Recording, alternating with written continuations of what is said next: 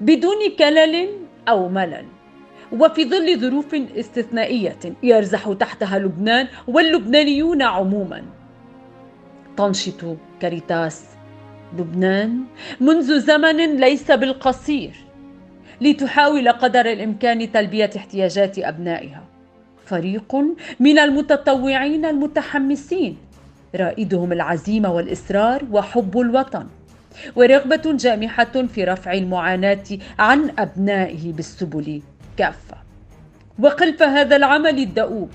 يقف الأب ميشيل عبود مبتسما ابتسامة الرضا داعيا الشباب إلى المزيد من العمل والاندفاع. نموذج راق للعمل الإنساني المجرد من كل اعتبار آخر. وقدوة في الانضباط والالتزام جعلت من كاريتاس لبنان محط احترام الجميع.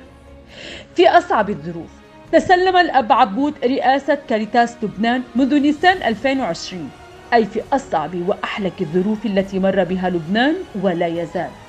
ولكن كل تلك العوائق لم تثني جنود كاريتاس عن متابعة رسالتهم بل على العكس كانت حافزا لهم للمزيد من العطاء والتحدي الذات. فخلال أزمة كورونا. وما أخذته من تداعيات سلبية على الكثير من القطاعات لا سيما العمال المياومين والمؤسسات الصغيرة. قدمت كاريتاس لبنان حصصا من المواد الغذائية لتمكين المواطنين من الاستمرار. كما عملت على تأمين فحوصات البي سي آر للمزيد من الوقوف على الواقع الوبائي. لا سيما في ظل غياب القدرة لدى الكثيرين على إجراء هذا الفحص. إلى ذلك سعت كاريتاس لتغطية الفارق في المبالغ المستحقة للمستشفيات في الحالات المرتبطة بالوباء. كما عملت فرق من متطوعيها على إيصال المساعدات إلى أبواب المنازل للأشخاص الذين يخضعون للحجر الصحي الإلزامي.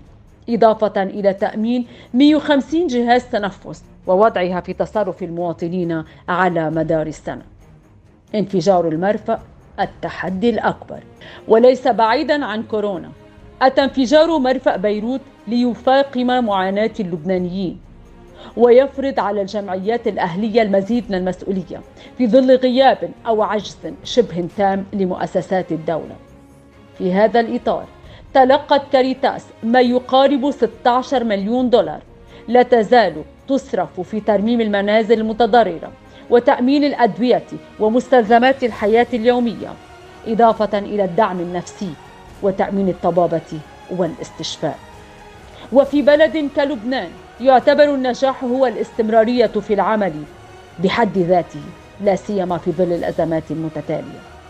وفي كل ذلك تشدد كاريتاس لبنان على أنها لا يمكن بحال من الأحوال أن تكون بديلا عن الدولة التي تبقى الملاذ لجميع أبنائها في الظروف الاستثنائية. من هنا تشدد على أن عملها مع الكثير من الجمعيات وهيئات المجتمع المدني إنما يقتصر على تأمين البقاء على قيد الحياة للمجتمع. ولو في الحد الأدنى لظروف العيش. وتتوجه كاريتاس لبنان بالشكر إلى فروع المنظمة في الخارج التي حرصت على تقديم الدعم بكافة أشكاله إضافة إلى جهود المغتربين وبعض الجهات الداخلية التي تجهد في تحدي الظروف المأساوية التي وصلنا إليها. آليات سهلة وتعاون تام للحصول على أي نوع من المساعدات تتميز كاريتاس لبنان بسهولة آليات الاستفادة والجهاز الإداري الفعال العامل على الأرض مما يعطي فعالية ومصداقية لافتين. ففي بداية عملها كانت تقدم المساعدة لمن لا يملك دخلا يعينه على الحياة إضافة إلى المرضى المزمنين وكبار السن ولكن في الظروف الحالية توسعت مروحة المساعدات وبدات تشمل أولئك الذين لم يعد دخلهم يؤمن لهم الحماية الاجتماعية المطلوبة. إلى ذلك تتنوع برامج الحماية التي تؤمنها كاريتاس لبنان لغير اللبنانيين سواء اللاجئين السوريين أو العاملات الأجنبيات إلى جانب عملها لتخلية سبيل الموقوفين أو تأمين ظروف أفضل لهم. أما عن طموحات المستقبل فتعمل كاريتاس على خلق برامج إنمائية تؤمن فرص عمل للشباب استجابة لمبدأ. علموا الصيد بدلا من إعطائه كل يوم سمكة وتتنوع هذه المشاريع بين الزراعة والصناعة التحويلية الخفيفة بما يساعد في تثبيت الشباب اللبناني في أرضه. تبدو كاريتاس لبنان خلية نحل لا تهدأ همها الأول والأخير هو الإنسان باختلاف انتماءاته وخلفياته. تجهد لتأمين أفضل الظروف الحياتية وبلسمة الجراح ما استطاعت إلى ذلك سبيلا.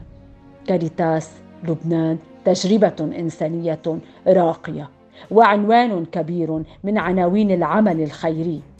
فرضت نفسها على الساحة لما تميزت به من سرعة في الاستجابة وشمولية في الخدمة. فكانت عنوانا للعمل الإنساني المجرد في أبهى صوره.